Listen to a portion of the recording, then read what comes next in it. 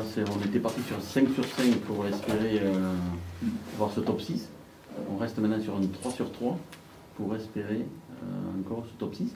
Mais euh, il y a cette hypothèse-là qui existe et ça vaut le coup de le jouer à fond. Oui.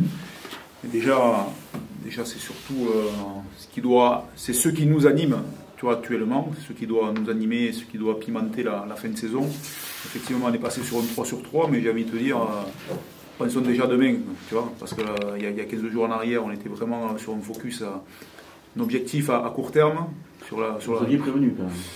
Euh, avant Valence, ça avait été prévenu, même s'il fallait faire un 5 sur 5. Euh, le, chemin était tracé, sauf qu'il y a eu un parcours, il y a eu, euh, il y a eu une erreur de, parcours, quoi. Tu vois, on l'a trébuché, mais voilà, on s'est relevé immédiatement en allant gagner à, Provence, et, et c'est pas fini. Et c'est pas fini. Donc oui, effectivement, il y, a la, possibilité, mathématiquement il y a la possibilité, ça ne dépend pas que de nous, mais déjà si on arrive à se concentrer, se focaliser sur ce qu'on doit faire, hein, je dis bien ce qu'on doit faire, hein, euh, c'est gagner Béziers demain. Et après on, repartira, on reverra notre, feuille de route pour euh, se fixer un nouveau challenge qui sera la prochaine étape euh, Grenoble. Mais d'abord, voilà.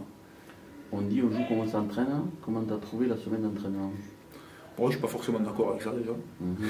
Parce qu'il y a des semaines où ça ne se passe pas très bien et euh, tout le monde se pose des questions et finalement tu te remobilises et c'est aussi là que tu fais les, meilleurs matchs. Donc je ne me suis pas persuadé. Après, forcément, oui, ça, ça, peut, avoir, ça peut avoir aussi des, conséquences si euh, tu le prépares mal. Mais euh, voilà, mais en tout cas, en tout cas, comme je te dis, c'est ce qui nous anime. Effectivement, c'est jamais simple les fins de saison, hein, parce qu'il se passe beaucoup de choses de, façon individuelle pour, pour les joueurs. Euh, qui peuvent arrêter, qui peuvent partir, qui soient en négociation. Euh, voilà, il y, a plein de choses qui se passent. Mais, euh, et surtout quand tu n'as rien à jouer, hein, quand tu n'as plus d'espoir de, faire un top 6 ou quand tu n'as plus la crainte de, de descendre ou passer la, zone rouge pour la fin de saison. Mais voilà, ce qui maintient vraiment le, groupe en ébullition et je suis intimement persuadé que les, les, joueurs, les joueurs vont faire le boulot. C'est je ne vois pas d'autre issue que, voilà, que, que, que, de trébucher. je, je suis persuadé, j'y crois dur comme fer. Les jours c'est pareil, maintenant au match ça se joue, ça se prépare. Je pense qu'on l'a bien préparé cette semaine. Je pense qu'on l'a bien préparé, euh, qu'on a, qu'on a bien ciblé tu vois, les, les atouts de cette équipe. Euh, on ne s'est pas trop évadé, on a bien ciblé euh, qu'est-ce qu'il pouvait faire, hein, autant offensivement que défensivement. On sait comment, comment ça va se passer il y a le derby, même s'il n'y a pas toute l'atmosphère qui peut, qui peut y avoir autour. Euh, mais en tout cas, euh, par rapport à, l'équipe qu'on va affronter, euh, voilà, on sait comment ça va se passer. Et maintenant, c'est à nous de faire en sorte que ça, ça se passe comme on l'a prévu. Ça veut dire au chat échaudé, craigne le froid Qui est le chat Félix. ah.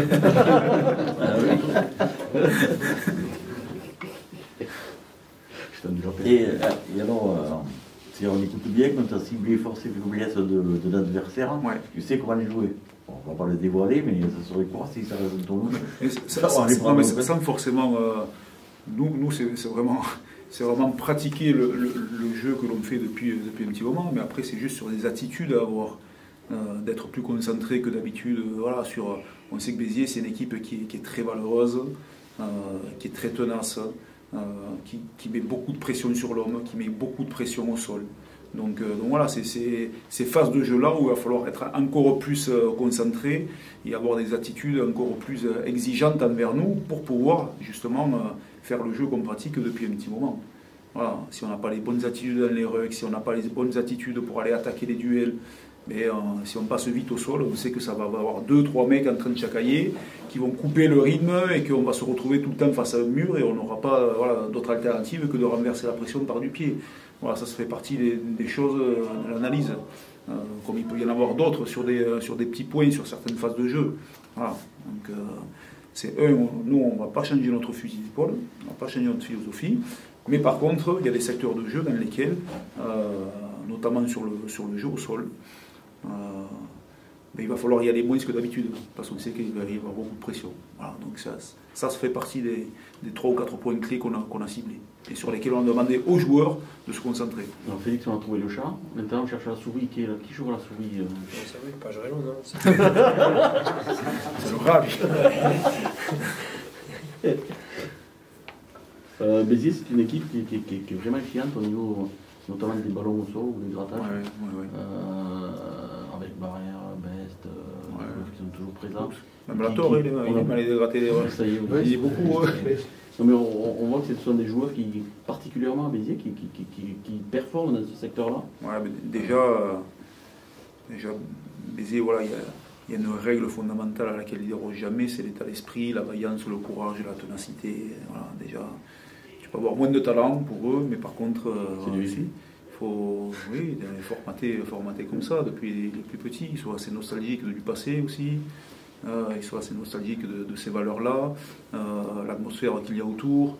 Euh, voilà, je, sais comment ça se passe. Je sais comment ça se passe.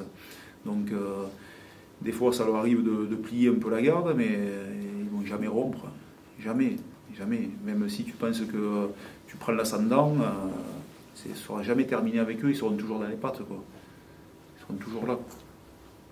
Et les joueurs qui vont avec en conséquence, tu vois, dans l'état d'esprit, des barrières, des, des, des stériolas, des, enfin, tout, enfin, plus ou moins, quoi, des bestes, et, voilà, ils sont... Au niveau de l'équipe, tu, par rapport au... Euh, juste, pardon Pierre, euh, il y, y, a des secteurs où vous l'avez quand même pêché, tu as essayé d'avoir de, des explications après contre Valence Romain, ouais. ça a été la mêlée. Ouais. Ces questions, tu as eu des explications bah, Les explications, c'est quand, quand es plus ils ont été plus forts que nous. Tu vois. Puis après, nous. C'est étonnant parce que bon, après, euh, c'est quand même une des forces de Carpa. Bah ouais, ouais, mais. mais maintenant, aujourd'hui. Tu sais, quand on a bilanté le match. Les trois quarts qui qu'on voulait pas donc, Quand on a bilanté le match, euh, quand tu es pris au rugby, tu vois. Ouais. Tu peux le répéter tout le temps, hein, fondamentaux, ça fait partie. Ah ouais, le vois. Hein. Ouais, si tu n'as pas tes ballons et que tu es sous pression dans ton camp et, et que tu prends des pénalités et que ces points potentiels, il les, il les transforme et au fur et à mesure, au fur et à mesure, ça s'empile, ça s'empile. Et, et voilà, il faut être prêt de large. Il n'y a que le ça qui a sur la route de match. Je me rappelle euh, quand on est dominé, archi-dominé. Ouais. Après, euh, il y a, après, il y a, la mêlée, il y a.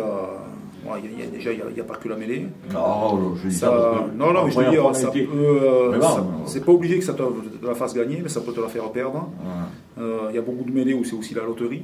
Quand tu tapes et que ça passe au sol, c'est la loterie, tu as une chance sur deux de récupérer une pénalité. Beaucoup de, beaucoup de choses, quoi. Beaucoup de choses, effectivement, sur ce match, ils ont été vraiment supérieurs à nous. Ben, c'est très bien. Après, c'est là. Comme je l'ai dit, on s'est challengé, il faut, il faut voilà, c'est qu'est-ce qu'on est capable de faire. Moi, je suis un persuadé que mais statistiquement, on a la meilleure mêlée. Par exemple, sur nos introductions, on est l'équipe qui a volé le plus de. On a 88% de nos ballons sur notre introduction. 88 Ouais. Pas forcément la mêlée la plus puissante, mais une mêlée qui a, qui a beaucoup de ballons. Donc, euh, et sur ce match, on en a eu. Euh, tu sais que sur ce match, sur, euh, sur nos intros, on a 100% de nos ballons. Chacun a 100% des ballons. Ah, non, non. Oui. Oui, mais par contre, ah oui, mais par contre sur l'introduction, ils nous ont mis sous pression, ils ont récupéré de 3-4 pénalités. Ah, mais par contre, sur nos ballons, on a 100%. Euh, en touche, on n'a pas été performant. On perd, on perd 4 ballons euh, sur 12. On perd 4 ballons, mais euh, ils en perdent 5. Tu vois c'est, c'est, tu vois, quand on, fait, quand on fait le bilan, tu te dis. Euh, c'est bizarre. Alors, oui, effectivement, on a été moins performants que d'habitude. Ah. Ils nous ont contrariés, on n'a pas eu des ballons propres, c'est, c'est clair. On n'a pas pu tu vois, mettre en place un ou deux bons ballons portés. Euh, on transforme la nos trois quarts d'arrière pour leur donner des ballons de lancement aussi. Mais quand, quand je fais le bilan, euh, ben, tu vois. Alors, voilà, ils, ont été, ils ont été bons sur leur introduction, ils nous ont mis sous pression, ils ont récupéré des pénalités dans, dans notre camp. C'est jamais croisé, mais. Sa manière de jouer, quoi. Mais euh, si tu veux, on cherchait vraiment une troisième ligne euh, un peu différente des, des, autres, parce que des troisième lignes, il y en a à l'appel, il y en a plein et des bons. Et on cherchait vraiment une troisième ligne qui, euh, oh. qui soit. qui soit, non, qui soit, qui soit différent, un petit peu différent dans sa manière de jouer, et qui nous apporte voilà, quelque chose. De, il, a, il a beaucoup de vitesse, il a, il a une bonne force de pénétration. Euh, voilà, alors il ne va pas viser les, les, hommes, il va viser les intervalles à pleine vitesse. Il a, il a des mains, c'est un joueur de, c'est un joueur de 7. C'est ce qui nous a- le plus. euh, Il a une joueur belle détente. passer les bras. Ouais, ouais, mais on a besoin de ça, des troisième lignes de, de relais. Et c'est vrai que dans le registre qu'on a aujourd'hui, qu'on des super pouvoirs, on a des super joueurs, hein, qui ont des super pouvoirs dans certains, dans certains domaines, dans certaines phases de jeu. Mais aussi, on a aussi besoin de, de troisième ligne qui soient en capacité de, de franchir les rideaux adverses, euh, de pouvoir faire jouer derrière eux, euh, voilà, qui, qui, qui soient comme un trois quarts. Quoi. Et, et on pense que ce joueur, enfin, on ne pense pas, on en est sûr, que ce joueur peut nous apporter une plus-value dans ce qu'on attend de, voilà, dans ce qu'on attendait dans, le, dans les, les nouvelles recrues. quoi. C'est le, jumeau, qui- le jumeau de Bruni un peu avant. Hein. Ça voulait plus ça, Bruni. Ah, Bruni pas en plus, pas ça. forcément. Ouais. Bruni, euh, voilà, c'est un joueur quand même de, de contact, il a de la puissance. Lui, ça va être plus un joueur euh, voilà, qui est capable de remonter les ballons et qui est capable de faire beaucoup de, beaucoup de choses. euh, Qui a Ça, du jump en touche. euh. Ça change du numéro 8 traditionnel qui est beaucoup plus volumineux et qui cherche beaucoup Ouais, plus voilà, je dis, des, des joueurs comme ça, on en avait, à- il y en avait à la peine, mais euh, voilà, qui restait dans le standard de numéro 8. C'est ça. Et c'est qu'est-ce que- qu'est-ce qu'on peut trouver vraiment de différent chez lui. Quoi. Est-ce que le fait que vous aviez, justement, tu parlais tout à l'heure de la puissance de vos avants, est-ce que le fait que vous avez déjà un pack euh, plutôt 5 de devant, on va dire. ça vous a permis de vous détacher dans le recrutement d'un 8 qui est un petit peu atypique Ouais, par c'est ça. On se dit que si on a un 5 de devant qui fait le, qui fait le boulot, on aura des troisièmes disponibles pour, euh, pour jouer. Et donc euh, voilà, on l'a, réfléchi, comme, on l'a pensé comme ça. Et puis, euh, et puis voilà, on espère, euh, voilà, ça, ça lui jump en touche. Il a une détente verticale, il va plus- de 1m80 sur détente verticale. C'est, ouais, il a des, il a des, des références physiques hors normes. Ouais. Après, euh, après, voilà, c'est. euh, Alors, ça va être un changement aussi d'environnement pour lui, euh, qui s'adapte, voilà, et après c'est... L'année dernière, vous aviez été embêté justement par, par, par rapport au recrutement des joueurs de l'Hémisphère Sud qui n'étaient pas venus au Mm. temps pour X ou Y raison, on a parlé de Covid. Mm. Est-ce que ça peut être la même problématique en juillet prochain où le joueur te dit finalement je- Bah, normalement non, normalement non, il ne devrait pas y avoir de, de problématique. Béziers, vous talonnez au classement. Vous avez battu au match aller. Est-ce qu'il y a une sorte de, de revanche par rapport à, à- non seulement à- au match aller Est-ce qu'il y a aussi une sorte de suprématie régionale en jeu puisqu'on ne peut plus parler de suprématie départementale parce que a disparu. Donc on va élargir maintenant, ça va être un derby contre Béziers, Occitanie, Bah, ouais. euh, et bientôt un derby contre Montauban. Ou Brive. Non, quand même pas, non, quand même pas, mais c'est quand même. euh, C'est vrai que c'est un derby qui a, qui a plus le nom que- qu'en réalité, ça serait plus un derby contre Narbonne. Mais, euh, mais pour nous, c'est une importance. Mais tu serais Narbonnais, tu habites Narbonne. un peu, j'habite Narbonne. ouais. Tu vois C'est pas bien.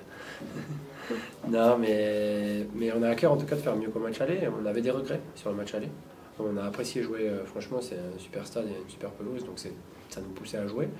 On avait tous pris du plaisir, et- mais on avait tous quand même euh, un sentiment d'inachevé et un peu de regret sur ce match. On y allait, euh, on y allait avec l'intention de bien jouer, mais au fond de nous, les joueurs, on avait envie de gagner. Et malheureusement, ça ne s'est pas fait. Euh, personnellement, en plus, j'ai pris un rouge et je ne vais pas refaire la même bêtise. Et du coup, non, on a tous, je pense, à cœur de faire mieux qu'au match aller. Et puis, euh, et puis bah, de toute façon, gagner le plus de matchs possible hein, pour finir le plus haut possible. Tu reviens au carton rouge, tu avais prévu un truc le week-end d'après euh Non, du tout. Non. Non, franchement, c'est. euh, c'est la dernière minute, Franchement, peu, euh, euh, franchement, en revoyant les images, j'étais vraiment hébété parce que sur le coup, j'ai pas l'impression d'y aller fort et tout. Et puis en revoyant les images, je suis. Je me rappelle plus, c'était sur quoi Plaquage J'ai fait un plaquage sur Jonathan Best qui tape à suivre. Ah, ouais, c'est Et vrai. ouais, y est. au- Il y a au un moment où il tape, il est allongé. Moi, je lance l'épaule en plus. Enfin, c'est une catastrophe aller aux images. Mais sur le coup, en plus, j'ai même pas. J'ai- Sur le coup, c'est vrai, que c'est quand tu vois au ralenti que ça. Ouais, au ralenti, c'est impressionnant. Ouais, ouais. putain. Franchement, au ralenti. Le ralenti, euh, ça va vite. Ouais, ouais, ouais. Non, mais franchement, ça m'a surpris au ralenti. Du coup, bah, je ne vais pas refaire la même bêtise, quoi, clairement. Béziers, c'est une équipe qui, généralement, même quand tu étais arrivé à Carcassonne en venant de Montauban, c'était une équipe qui a toujours réussi à Carca. Pendant longtemps, Carca faisait le doublé Carca à Carca et à Béziers. Euh, Béziers est revenu un petit peu dans la, dans la course il y a quelques saisons en arrière. Et là, de nouveau, bon, ça l'air d'être rentré en rang. Gagne à la maison, Carcassonne gagne à la maison. Euh, chacun gagne à domicile. Euh, Euh, ouais, ouais, ouais, mais bah, comme j'ai dit, nous, franchement, même l'année dernière, on a pris beaucoup de plaisir sur leur stade. Franchement, c'est une pelouse et un stade qui donne envie de jouer au rugby, clairement. Ça nous avait poussé à faire des beaux matchs, je trouve. Enfin, je sais pas ce que vous en pensez, ni ce qu'en pensent les supporters, mais je trouve qu'on avait fait des beaux matchs les deux fois où on a joué ces deux dernières saisons. Et j'espère, je pense que eux vont venir pour, pour, euh, pour jouer un peu. Donc, euh, qu'on a un beau match demain, quoi. Et, j'espère qu'on gagnera en tout cas. Quelles sont les forces et les faiblesses? Qu'est-ce que tu redoutes de cette équipe biterroise? Ah, C'est une équipe complète, franchement. On parle beaucoup du jeu d'avant chez eux, qui sont pénibles, euh, qui cassent un peu la dynamique des équipes adverses avec des joueurs comme Barrière qui, qui grattent beaucoup de ballons, par exemple. Mais, euh, mais sincèrement, derrière, ils ont une équipe très complète. Euh, ils ont des joueurs comme Poi et Jimeno au centre qui sont, qui sont efficaces. Jeffrey Williams aussi. Et franchement, c'est une belle équipe. Il y a, il y a des beaux joueurs. On parle, comme je dis, on parle beaucoup des avants, mais moi je trouve qu'ils ont une très belle ligne de trois quarts. Donc je pense que c'est un bon test pour nous. On a une équipe euh, jeune derrière maintenant et, je pense qu'on a, a les armes pour les contenir et en tout cas j'espère qu'on y arrivera. je la pose à tout le monde, hein. c'est la même question, donc je vais la poser aussi. Qu'est-ce que ça t'a fait de jouer avec tes fils et tes petits-fils? Ah, Ça fait bizarre. Franchement, j'ai 33 ans, mais je me sens pas beaucoup plus vieux que, ceux qui sont nés en 2000 quand, quand je suis aux entraînements et tout. Euh, non, ça fait plaisir, franchement, ça fait plaisir. Et ça, on l'écoute Ouais, ouais, ouais, Non, franchement, ça se passe super bien. Non, on a une très bonne ambiance. Euh, on a des jeunes qui sont hyper, hyper, hyper bien impliqués et, en plus qui sont franchement à l'écoute et demandeurs avec les anciens. Euh, J'ai pas de prétention de leur apprendre quoi que ce soit. Hein. Je, donne juste les astuces qu'on m'a données dans ma carrière et, j'essaye de, de, les aider quand je peux, mais, mais, je suis pas, je suis pas assez bon pour ça. Quoi, mais je fais le maximum en tout cas pour que ça se passe bien. Et en plus derrière, passe bien depuis un certain temps. Ouais, c'est bah, une bonne, un bon, bon, fonctionnement collectif depuis quelques mois maintenant. Bah, on a tous eu du mal à l'allumage, on va dire, mais, euh, mais, on a continué à travailler de la même façon et, et on a persévéré. je pense que le travail de Julien sera à payer. On a, il n'a pas dérogé à ses habitudes et à, à ses règles d'entraînement. Il nous a poussé encore plus et franchement, euh, bah, les jeunes ils se sont révélés. On a, on a eu un meilleur jeu collectif et je pense que tout le monde a progressé collectivement sur cette saison. On, parlait du top 6 tout à l'heure, c'est quelque chose qui, que vous gardez dans le coin de la tête en tant que compétiteur, hmm. où on se dit, bon, c'est assez loin quand même, c'est bah. compliqué.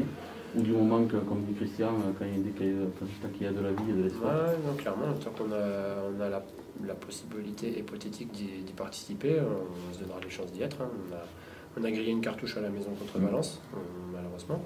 Euh, ils ont fait un très bon match à l'extérieur, ils ont bien joué, bien joué avec les conditions climatiques. Et, euh, on a eu, euh, je pense, une balle de break qu'on a loupé et malheureusement ça ne nous a pas sur la suite. Mais là, on n'a rien de plus à faire que gagner nos trois matchs. Quoi. Même si c'est peut-être un programme ambitieux, mais déjà gagnons Béziers et on verra ce qui se passera après. Quoi. Et tu n'es quand même pas maître dans ton destin Clairement pas, mais, mais si on l'essaie pas, on n'y arrivera jamais de toute façon. Dans cette course, euh, justement, tu parlais de Valence, ouais. ils vont te coûter 8, 8 points, eux, du coup. Être venu ici et, et d'avoir ouais, bien sûr, on était leurs premiers supporters dimanche, ouais, on était malheureux de voir qu'ils ont perdu, mais euh, bah, c'est plus de notre faute que de la leur. Hein. On a perdu contre à domicile, on n'avait pas le droit de le faire. Malheureusement, euh, je pense qu'on avait fait quand même une bonne semaine d'entraînement et qu'on avait bien préparé le match. Et, mais parfois, c'est des petits déclics sur les matchs qui nous font perdre. On prend un carton rouge euh, qui nous fait mal, mais je pense même pas qu'on perde à cause de ça. C'est plus euh, nous qui mentalement avons un peu faibli sur, euh, sur la longueur. Pour en revenir à ton passé, quand tu étais venu à Carcal, né au Carcassonne monte en Pro D2, tu étais un jeune joueur, tu, étais formé à Montauban. tu es revenu quelques années plus tard, c'est-à-dire l'an dernier. Est-ce que tu trouves une évolution dans ce club carcassonnais ou, ça, ça, ça, évolue mais lentement non, non, non. beaucoup d'évolution au niveau structurel, au niveau interne Non, vrai qu'au niveau structurel, ça a beaucoup évolué. Mm. Euh, Est-ce que tu regrettes les massages sur le capot des voitures Ouais, franchement, mais c'était. Euh, franchement, dans ma carrière, je m'en souviendrai toute ma vie. donc, euh, c'est des, des, très bons moments, je ne les regarde pas du tout. Au contraire, c'était une superbe expérience. On avait une équipe avec une très bonne ambiance, un fonctionnement totalement atypique. Et, euh, et je pense que c'est ce qui a fait bah, la force du club aussi, puisque ça a permis de développer des, des qualités et des, et puis des interactions entre les hommes qui n'auraient pas été les mêmes euh, si on était plus dans du coton. Quoi. Et au jour d'aujourd'hui, franchement, on a des belles structures. Enfin, nous, les joueurs, on a... la seule problématique, c'est de se déplacer pour aller s'entraîner, mais, mais ça, le club ne peut pas grand-chose. Je regrette les anciens vestiaires. Les avec le banc en bois. ça va. Franchement, il est avec le vestiaire fumeur et tout. Non, non, non, non, je... je... crois que c'était le centre de La Rochelle qui avait dit euh, si vous avez un, un vœu à faire pour l'an prochain, surtout pas revenir à Carcassonne dans leur stade du Moyen-Âge. Non, c'est un stade atypique. hein. Ouais. Franchement, je pense que c'est un des stades les plus atypiques de la Pro D2, mais malheureusement, Ah, tant qu'on a cette tribune, ça va. Mm. Ça va quand même, c'est pas dégueu. C'est le luxe. Quoi.